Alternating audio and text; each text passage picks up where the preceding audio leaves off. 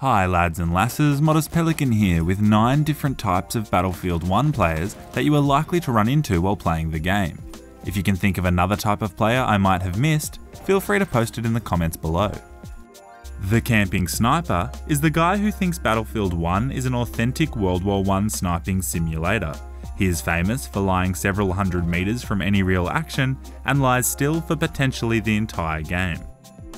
The heavy breathing chat guy is notorious for making your World War I experience feel like Star Wars Return of the fucking Jedi. Someone please resupply my ammunition. This dude ruins your relaxing gaming experience and makes you double check that you don't have any personal information available on your gaming profile. The Noob Guy is a player who went to the game store to buy SingStar and decided he would pick up a copy of Battlefield 1 instead and in game, he is about as useful as a knitted condom. We love these players though because they make us look, well, really, really good. The PTFO guy is obsessed with playing the objective. He values securing flags more than his sex life and is one of the key reasons why your team is winning the match. These guys have a better win percentage than LeBron James, but are so busy getting points, they often forget there is a world outside of apples, butter, and Charlie. The medic guy who actually heals you is a fucking legend.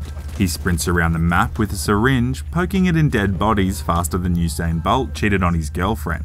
This guy is the man, often a myth, and most definitely one of the best type of players to have in your squad.